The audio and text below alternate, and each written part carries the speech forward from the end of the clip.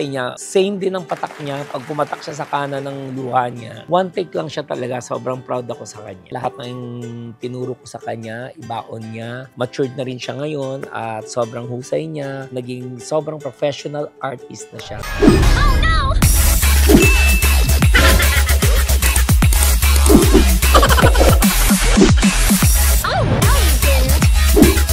oh, Subscribe!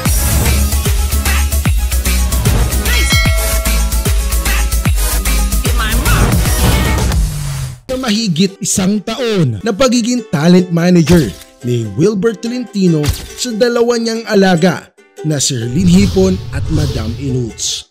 Siyempre, nung nakikita niya kung paano ko gabayan si Inu, so since mag-ate na rin sila, na kung, nakikita ninyo na magkasama kami sa Cup Challenge na pahap ko sa kanila, nagkaroon na sila ng somehow ng connection. Ito lang, mapapangako ko sa inyo, sa lahat ng mga nanonood nito, itong channel nito magsisilbi na testamento. Kung magiging akin si Hipon, hindi ko sasayangin yung pinagkatiwala niya sa akin bilang magiging manager niya. So, sa... Kayo mismo ang naging saksi kung paano inalaga ang mabuti at tinupad ni Ka-Freshness ang mga pangarap ng dalawa. Sir Lin Hipon ay tinupad ang pangarap na makasali sa Binibining Pilipinas at masungkit ang titulong First Runner-Up Binibining Pilipinas 2022. Dahil dyan sa pagsali ng Binibining Pilipinas, nabigyan ni ka-freshness Wilbert Tolentino ng walang patid na endorsement at bumubulusok ang karera ni Erlin Hipon at inilagay niya sa Erlin Hipon sa pagiging lead role ng Kapuso Network at hanggang ngayon andyan lang si ka-freshness bilang mentor, consultant at taga-close deal sa mga iba't ibang project sa tulong ng Sparkle JMA Artist. At si Madam Inuts naman ay tinupad ni ka-freshness na magkaroon ng sariling bahay at binigyan ng pansimulang negosyo na Daylo Skin Renewal Set. Gayon din sa Herling Hipon, binigyan siya ng bahay ni ka-freshness Wilbert Tolentino para may komportable itong tirahan para sa kanyang pamilya. Talagang nagpursige si ka-freshness Wilbert Tolentino na umangat ang pagkatao at humasa ang talento ng kanyang mga alaga na Sir Linhipon Budol at si Madam Inuts. Dahil dito ay kaliwat ka ng proyekto sa showbiz ang na-deal ni ka-freshness Wilbert para kila Herlin Hipon at Madam Inuts. Si Madam Inuts ay nakapasok sa Pinoy Big Brother House na talagang hinubog ang pagkatao ni Daisy Lopez. Nagkaroon ng iba't ibang kaibigan, mga hamon na talagang pinagpawisan. Sinubukan din ang katatagan ng kanyang emosyon sa loob ng bahay ni kuya. Bukod pa rito ay pinalad na makatrabaho ang mga bakitikan na aktor sa larangan ng pag-arte ng pelikula. Isang makasaysayan ng ginawa ni ka-freshness Wilbert Tolentino dahil si Madam Inuts ay napabilang sa top 4 winner ng PBB Season 10 Celebrity Edition at back-to-back naman Sir Lynn Nicole Policarpo Budol sa BBP pageant. Sinikap ni ka-freshness na makapasok at hasain ng kalaman ni Erlene Hipon pagdating sa pageant. Nasungkit niya ang first runner-up sa Binibining Pilipinas 2022. At di lang yon sa anim na pong taon ng Binibining Pilipinas bukod tanging Sir Lin Hipon lang ang nakahakot award sa mga special award ng Binibining Pilipinas. Dahil yan sa tulong at porsigidong manager na si ka-freshness Wilbert Trentino, mataas din ang ratings ng magandang dilag sa unang teleserye ng pinagbidahan ni Lin Hipon gayon din ang pinagbidahan niyang teleserye na Black Rider na kasakasama niya si ka-freshness Wilbert Tolentino bilang isang Doc Wilford. Isang malaking kaabang-abang. Nagaganap din si Madam Inuts sa Black Rider. Posibleng makaahon sa hirap ang isang tao sa pamamagitan ng sipag, tiyaga at tiwala sa sarili na may kasamang pagmamahal sa kapwa. At sa mag-iisang taon na na nagbigay anunsyo si ka-freshness Wilbert sa pag-resign niya bilang isang talent manager nila Herlin Hipon at Madam Inuts dahil nais itong mag-focus sa kanyang anak na si Little Ka-Freshness. Ngayong araw ay contract signing ni Herlin Nicole Policarpio Budol sa pagiging official Sparkle GMA artist. Hello mga ka-freshness! Welcome back to my YouTube channel at nandito po tayo ngayon sa Kapuso Network. For today's video, uh, may contract signing tayo ngayon kay Herlin Nicole Budol at samahan niyo ako dahil uh, ito turn over na ni ka-freshness sa Sparkle si Herlin dahil kailangan niya karoon ng continue project na tuloy-tuloy po. Last month, katatapos lang ng kontrata niya ng Binibining Pilipinas since lumaban siya noong 2022. It's been 18 months bago siya ngayon mata-turn over. Tara, samahan niyo ako. Chichikahin ko sa inyo kung ano ang mga kaganapan.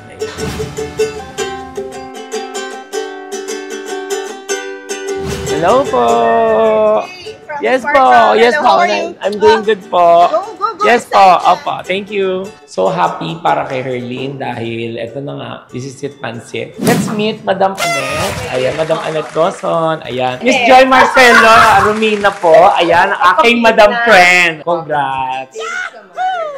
Eto na, this is it na po. Congrats, Mima. Mag-vlogan tayo. Pares pala tayo nag-vlog. Tayo. Okay guys, nagbo-vlog si Sir Wilbert. Ayan. Tapos, Siyempre ako din. nag-vlog din kami. So, Mag-vlogan tayo. Na, Mo, meron Outfit ano? ko. Siyempre, hipon na hipon. Ay, taray! Congrats, Mima, dahil Thank you, ma'am. sobrang proud ako. Ah, turn over ko na si Herlene, sa Sparkle. Huwag ka na umiyak dahil nandito ako to support you pa rin. Kahirap at ginawa. Outfit check, Gar tayo. Dali. Check, outfit check, Gar. Gar, Hmm. outfit check. Jojo Bradait, Gar. Tingin, Gar. Ay! Korea, Gar. Magkakaroon ka ng Herlene shoes sa Jojo Bragais. Paging Jojo Bragais, ayan na, nagantay na si Herlene. Isuot, walk, win. Diba? Ayan. Ikaw naman. Oh, outfit check, Gar. Wala. Ano to, Gar? Polka dot, pampaswerte. Mima, congrats. Thank you, Mima. Ayun, nandiyan si Madam Ano. Sponsor by Wilbert Tolentino. Tapos ako ito Pag na ito lang. nanakaw, Friendship kasama over. braso. Kakasabi nyo nga lang, sir, sabi nyo, yung iba iniisip nila, yung kahirapan, end of the road. Sa akin, kahirapan, start of the road. Kasi syempre, isipin mo yung kahirapan, pero kailangan umpisa mo siya doon. Mahirap ka, so mag-start ka para maging motivation mo yung kahirapan para ma-achieve mo yung gusto mong mangyari sa buhay mo. Ma- mangarap ka, libre lang naman mangarap na mangarap eh. So ikaw, sabi nga nila, binuhay ka na ni Lord, kasalanan mo na kung mamatay ka ng mahirap. Gawa ka lang ng gawa ng mga, ano, mga bagay-bagay na gusto mong gawin sa buhay para mangyari yung mga gusto mo mangyari. Kasi kapag love mo naman yung ginagawa mo or kapag passion mo talaga yung ginagawa mo, happy ka sa ginagawa mo. 15 years old ako, nagtatrabaho na ako. Nag-apply ako sa Umbrella Girl. Nilagay ko doon sa resume ko pa noon. 18 years old ako. Pero totoo, eh, 15 years old pa lang ako noon. Siguro, hindi naman kami ganun sobrang hirap. Pero kasi naranasan namin yung hindi kami kumain na tatlong beses sa isang araw. Nasa point pa rin kami ng mahirap. Pero hindi naman yung sukdulan na talagang ano. Thank you pa rin kay Lord. Tapos, yung merienda namin dati, 5 pesos, tagpa 5 pesos kami magkakapatid, tapos nilalaban pa namin ng kapatid ko, sinusugon namin tag 5 kami, tapos atsuyan kami sa basketball court. Pag lumago, edi jackpot, may kanin tsaka backbone, backbone kaming merienda. Pero kapag talo, mari lang pag matitira dos, tsaka mari, tsaka ice tubig. Umbrella girl po ako, ana, nagpapayong po ako ng mga nagbo-golf, golf player, ayan. Tapos, tapos meron pa dun may, ano, bawa, sampu kaming mga umbrella girl mamimili yung mga players, madalas ako yung hindi napipili. Hello. Wala nang butas yung bubong namin, sa pader na lang. Tapos, may kisame na kami, tapos nakakakain na kami ng tatlong beses sa isang araw, minsan sobra pa. May ipon-ipon na rin po kahit papaano dati ho kasi pag ano, kapag kapag kumita ako, pambili lang namin ng pagkain bumagapang. Okay po. Thank you very much, madam. Matapos ma-interview ni Herlin Hipon, nagpunta na sila sa studio na kung saan doon gaganapin ang contract signing naghihintay na rin ang presidente of Jamie Films na si attorney Annette Gozon Valdez at kasakasama ang vice president ng Sparkle Jamie Artist Center na si Madam Joy Marcelo. Kunting haplos lang ni Rioloxin sa buhok niya. Papatak na inuluhan niya. Panghusay na niya. Boy. Walang retake talaga. As in, Tinutulungan po ko, mabait po yung mga taga Black Rider. Opo. So, ginag, tinutulungan po nila. Nakakatawa rin po silang mga ka-eksena. Di siya nagre-retake kasi sabi ko, bakla, veterana ka na. Sabi ko, opo. Best actress. Opo. Man, Enjoy ka. sobra po. Dati po parang ayoko mag-acting workshop kasi natatakot akong makipagsalamuha. Oh, naalala ko takot ka eh. Opo, ngayon parang excited na po ako Ay, kapag talaga? may ganun. Mabuti, at least enjoy ka sa ginagawa mo. Opo, happy na ako. Hindi ka Tsaka, napipilitan. hindi, hindi po. Kahit Da- anong role dati, dati parang, pero pero sabi ko, yes, may trabaho. Kano din to eh. Ngayon po talaga, ano, nalulungkot ako pag wala akong taping. Na! Totoo po, totoo po. Actress! Actress na Na, na, actress. basta masaya ho ako. Saan ka mas nag-enjoy? Hosting? Or acting? Um, halos parehas po eh. Pareho lang. Kasi mm, parang masaya na ako pag nakikipag-encounter ako. Bawa Sa sa, mga bagong ay, sa Black celebrity. Rider, parang natutut tumatalas ng utak ko kakakabisado naman sa duhan. Tapos kapag ghosting naman po, masaya kasi ano, ah, parang naglalaro ako na nakikipag-interact po sa mga tao din. Masaya po. Kaya nag enjoy po ako sa ginagawa ko ngayon. Ang layo na lang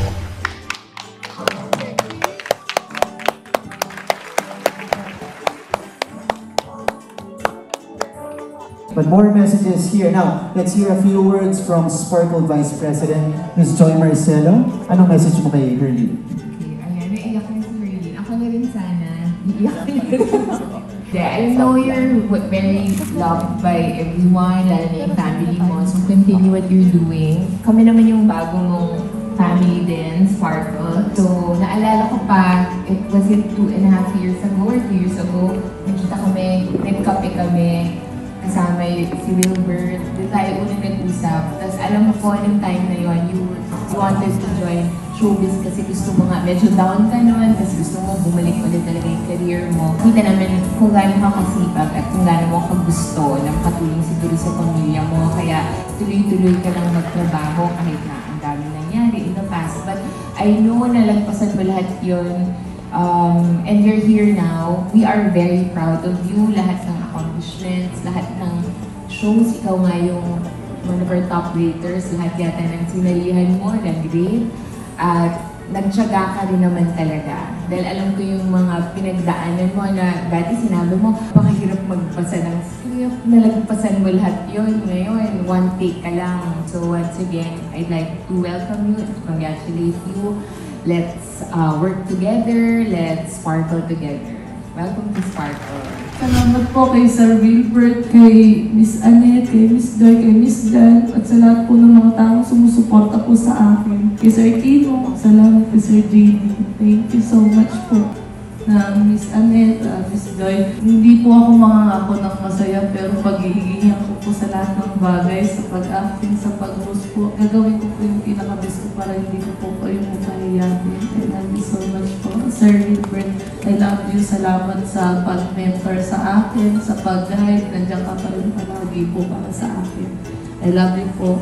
Ah, lahat po ng ginagawa ko, syempre para din po sa sa pamilya ko, para po sa future, lalo-lalo po sa lolo ko. Shoutout ko na rin po yung mama ko makapagtampo. Mama Lynn, I love you. Yun po. Thank you po. Salamat po. Applause for Ms.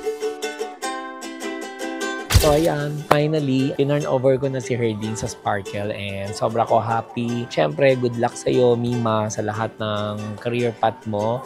At walang pagbabago yung pinagsama natin, yung pagiging magkaibigan tayo. Ako pa rin yung Mima mo pag may mga technicality at saka yung mga pagbasa ng kontrata, lagi mo ko naalala. Hindi pa rin ako magbabago. Sana ganun ka rin, hindi ka rin magbago. At ayun, congratulations at make me proud. Certified legit Sparkle artist na lead role, Herlene Nicole Budol. Ayan. So maraming salamat Kapuso Network headed by Madam Annette Goson, Miss Joy Marcelo, Miss John Navarro. Ayan, maraming salamat po sa inyo, sa tiwala At iniwan ko si Herdin sa Sparkle. Alam ko nasa mabuting lagay siya at napag-usapan po natin na hindi niyo pababayaan si Herdin. So, with this, ah, alam kong malayo pa malilipad ni Herdin sa karera niya dahil nandyan pa rin ako behind the scene na wala man lang ang titulo ko as bilang manager niya pero nasa puso by heart. I'm still his mentor, advisor, coach, motivational uh, and inspiring facilitator yan para sa kanya. So, good luck Mima and I love you. Sabi ko pa naman, magpapasampal ako sa lahat ng veterano. Halos lahat ng veterano, kahit yung mga baguhan, gusto ko makasama. Ganun ako kapatay gutom. Matuto ba? Kahit sa bago, kahit sa luma, kahit sa Kahit kanino, willing ako para may matutunan ako lalo. Tapos ini-improve ko yung mga, yung sarili ko sa lahat ng mga sinasabi nila. Uy, ang, ang, ano mo, ganito ka, ganyan. I-turn ko siya as positive. Ayusin ko yung sarili ko. Ayun, kagaya po na sinabi ko rin kanina doon sa may stage, hindi ako mangangako ng masaya. Pag-iigihan ko po, syempre, para din po sa akin, sa pamilya ko, at para po sa inyo. Hindi ko po kayo din ipapahiya sa lahat ng bagay. Um, kumbaga, pag mas yung eagerness ko po sa pagiging artista, mas pag-iigihan. Ay ano, sobrang proud ako dahil syempre bago ko siya i-turn over sa Sparkle, nag-usap kami. Kahit nalist ko lang yung uh, titulo ko as bilang manager niya, still we remain friends. Uh, at lahat ng mga technicality, lahat ng mga um, kontrata, ako pa rin ang dinalapitan niya. Kumbaga ako yung advisor niya, mentor po niya, at saka of course, parang behind the scene, andito pa rin ako pag anytime na lumalapit siya sa akin, nagpapakonsult siya sa akin, andyan pa rin ako para sa kanya. Sobrang proud ako dahil part na siya ng Sparkle. Uh, thank you din sa Kapuso Network at binigyan siya ng pagkakataon. At gusto ko rin mag-thank you rin po kay Madam Attorney Annette Goson at kay Miss Joy Marcelo at, at si Miss John Navarro and the rest of Sparkle family. Very natural kasi talaga si Herlene. Bago ko siya ibinigay sa Sparkle way back, bago ko siya ibinenta, bago ko siya sinabak sa Binibining Pilipinas, sabi ko sa kanya, kailangan umiyak ka within 30 seconds. Doon, doon ako nag-start nag-training sa kanya. Bago ko siya i-pitch sa GMA, bago ko nailatag ang portfolio niya. Until nagawa niya, in within 15 seconds, kaya niyang umiyak. Kung pag sinabi ko kanon ka umiyak, may 5,000 siya. Yun yung pang motivation ko sa kanya. Sobrang proud ako sa kanya dahil uh, nakakasama ko siya sa, sa Black Rider. From wide shots, tight shot, safety shot. Pag sinabing umiyak siya, napakahusay niya. Same din ang patak niya. Pag pumatak siya sa kanan ng luha niya, one take lang siya talaga. Sobrang proud ako sa kanya. Bilang co-vlogger ko siya sa industriya, tapos naging Mima ko siya. Kung tawagan, tawagan namin kasi yun eh, yung Mima. Siyempre, wala akong ibang wish at saka hinangad sa kanya kundi sa lahat ng mga uh, tinatahak niya ngayon, ng mga karera niya. Lahat ay para sa kanya. Lahat ng tinuro ko sa kanya, ibaon niya. Matured na rin siya ngayon at sobrang husay niya. Naging sobrang professional artist na siya. So ayan, tapos na tayo dito. Uh, pack up na tayo. Uwian na tayo at syempre, thank you ulit sa Kapuso Network for embracing Herlene. At of course, kasama ako. Ayan, kung nagustuhan niyo itong video nito, bigyan niyo ako sa mga like, share, and subscribe. And click the notification bell para updated kayo sa YouTube channel. And of course, congratulations, Mima. Thank you, Mima. Love you. So proud of you. Ayan. So dito na ako magpapaalam, mga ka-freshness. And of course, syempre don't forget subscribe niyo rin YouTube channel ni Hipon, Madam Inuts, lahat ng mga ka-freshness family. Oh. Yeah.